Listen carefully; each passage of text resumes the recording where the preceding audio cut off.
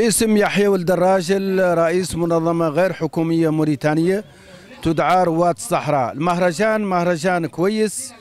هو في مثابة حج بالنسبة لنا لأنني أنا هذه مشاركتي رقم 11 والحمد لله احتفلت بالمشاركة العاشرة في 2019 قبل كورونا وهذه هي رقم 11 وهو مهرجان يعني آه، مهم جدا لأنه لقاء بين آه، حكواتين العالم حول مائدة الثقافة ومائدة الحكاية ويعني جعل الحكاية موجودة بيننا ولنستفيد من ماضينا والماضي هو يعني المهم للحاضر.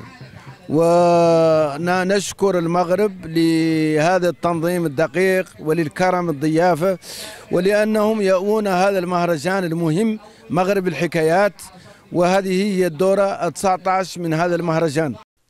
قبل الدوم شاركت على قناتنا غلاد أدر في البطولة زجاق دنا قصادة فذكر حميلونا أو تستطيع جام تنمرتنج إن أعجبك الفيديو لا تنسى الإعجاب والاشتراك في القناة.